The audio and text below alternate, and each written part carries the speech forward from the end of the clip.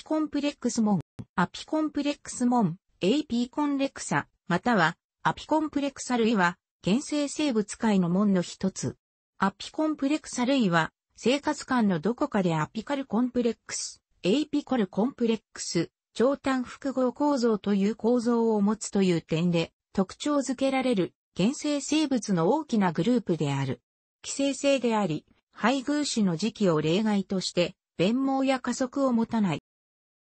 アピコンプレクサ類の生物は、コルポデラ類を除いて、すべてが寄生性である。宿主は、構成動物全般で幅広いが、個々の種は、比較的宿主特異性が高いと考えられている。寄生部位も、腸管、体孔、組織、血球と様々で、細胞内寄生のものも細胞外寄生のものもある。宿主に対して病原性を示すもの多く知られており、マラリア原虫のような著名な人の病原体が含まれている。アピコンプレクサ類によって引き起こされる代表的な疾病には以下のようなものがある。アピコンプレクサ類は無症生殖と有性生殖からなる複雑な生活感を持っており、一般に次の3つの時期に区分できる。標準的には、宿主はオーシストを摂取することで感染する。まずオーシスト中のスポロゾイトが細胞に侵入してメロゴニーを行い個体数を増やす。生じたメロゾイトは再び周辺の細胞に侵入してメロゴニーを繰り返す。その後、雌雄の生殖母体が分化してガメトゴニーを行い、生じたガメートが受精するとスポロゴニーにより新しいシストが生じる。この基本的なパターン以外に様々なバリエーションがあり、また単一宿主のものだけでなく複数の宿主を持つものも多数ある。アピコンプレクサ類は基本的に単細胞であるが、大きさは数マイクロメートルから数ミリメートルまでと極めて幅がある。細胞膜がアルベオール、アルビアリー、放出という商法に裏打ちされ、やや硬いペリクル、ペリックル、外皮を形成している。アルベオールの存在や、その他の特徴からアピコンプレクサ類は、アルベオラータというグループに所属させられている。ペリクルは細胞のほぼ全体を覆っているが、陰作用、ピノサイトーシスを行うミクロポア、マイケロポー、微小孔のところにはない。細胞の前端にあるアピカルコンプレックスは、元来はミゾサイトーシスに使われる構造だと考えられているが、大部分の種では、宿主細胞との接触や細胞内への侵入に関与していると考えられる。先端は極輪、ポーラーリングという微小管の帯が取り囲んでおり、多くの原虫にはさらにこの井戸、この井戸、円錐体というロート状の微小管束がある。開口するロプトリー、ロプトリとミクロネーム、マイケラニエミという商法があり、原虫が宿主細胞に侵入するための酵素を分泌している。もう一つの特徴として、アピコンプレクサ類の細胞には、アピコプラストと呼ばれる細胞小器官があって、3ないし4枚の膜に囲まれていることが挙げられる。その機能は脂質合成などだろうと思われるが、原虫の生存に必須であるらしい。ただしクリプトスポリジウムや少なくとも一部のグレガリナ類にはアピコプラストは存在しないと考えられている。アピコプラストとウズベンモーモの葉緑体は両方とも構想由来だと考えられ、従って一般的には両分類群の共通祖先から受け継がれたものだと考えられている。しかしアピコプラストは緑藻由来だとする意見もある。アピコンプレックス門の解分類は分子系統解析による再検討が行われている段階である。比較的安定的に受け入れられている分類群は以下の4つであり、これらを綱、または和光に当てることが多い。このうち、重血胞子虫類のみ、もしくは重血胞子虫類とピロプラズマ類の2つを国史ジウム類に含めることがある。またピロプラズマ類を重血胞子虫類に含めて扱うこともある。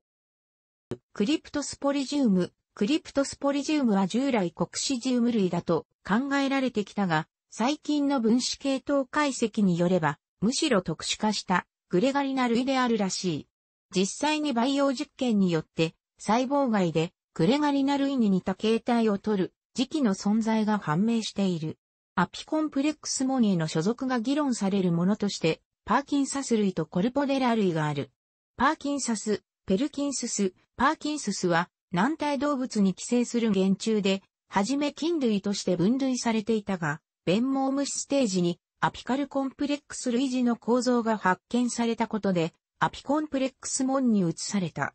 現在では、分子系統解析などにより、アピコンプレクサ類よりも渦弁毛虫に禁煙であると考えられているため、アピコンプレックス門には含めないようになってきている。コルポデラ、コルパデラは自由遊泳して他の原生生物を吸引消化する弁毛虫であり、フン、ロストラムがアピカルコンプレックス類似の構造でできている。分子系統解析でもアピコンプレクサ類に禁煙であることが示されているが、アピコンプレックス門に含める意見と含めない意見と両論がある。これらの生物はアピコンプレクサ類と渦弁毛虫の共通祖先に似ているのだろうと考えられている。アピコンプレックス門はかつて胞子虫と呼ばれていた寄生性原虫の大部分を含んでいる。もともと胞子虫、スポローズはルークカート1879という分類群はグレガリナ類とコクシジウム類からなるのであり、その意味では、胞子虫類とアピコンプレクサ類とはほぼ同義である。これ以外に、粘液胞子虫類、微胞子虫類、アセトスポラ類をも、胞子虫として扱っていた期間が長く続いていたが、これはどちらかといえば便宜上のもので、当時から系統の異なる生物だと考えられていたし、現在ではそれぞれ全く別の生物だと確定している。この経緯については、胞子虫の項に詳しい。このような場合、分類学の一般論としては、範囲を狭めて、元に戻して、胞子虫という名を使い続けるのが妥当である。まして胞子虫という名は、古典的4分類の一つとして、長く親しまれたものであり、アピコンプレックス門という名称が受け入れられるまでには、長い論争があった。獣医学分野で活躍した寄生虫学者ノルマン・ディ・ラビンは、胞子に相当する形態を取らないため、胞子虫類でないと疑われていたピロプラズマ類について、アピカルコンプレックスが認められることから胞子虫と禁煙と考え、1969年にこれらをまとめてパラノリフィラモンとすることを提案した。これは翌年 AP コンレクサモンと改名され、グレガリナ類、コクシジウム類、重血胞子虫類を含む胞子虫綱とピロプラズマ綱の2項が置かれていた。つまり、アピコンプレクサ類は、競技の胞子虫類を含みさらに拡大させた概念である。しかし1970年代前半には、ピロプラズマ類は、重血胞子虫類と禁煙なので独立の綱を与えるべきでなく、従って、アピコンプレクサ類は、胞子虫類の同義語で不要と批判された。ところが1976年に菌類だと考えられていた軟体動物の病原体がアピカルコンプレックスとよく似た構造を持っていることが判明する。ラビンはこれにパーキンサスと名付け、アピコンプレックス門を、胞子虫綱、スポーラズイー、和名では種虫綱と訳し変えるとパーキンサスなのに、こうとした。これが1980年の合意体系で採用され、普及のきっかけとなった。その後の1982年、パーキンサスの構造は、渦弁毛虫によく似ていて、アピカルコンプレックスも本当に騒動か、疑わしいと批判され、またもやアピコンプレクサ類は、胞子虫類の同義語となり、不要ということになるが、しかしすでに合意体系で採用されていたこともあり、アピコンプレックス門は普及し続けた。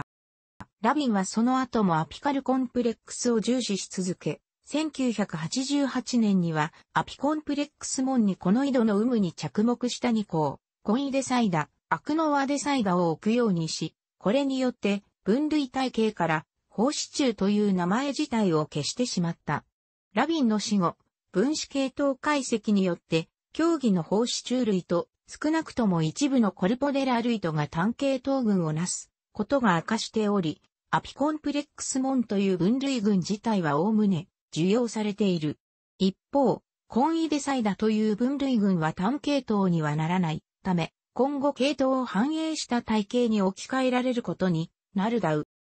楽しくご覧になりましたら、購読と良いです。クリックしてください。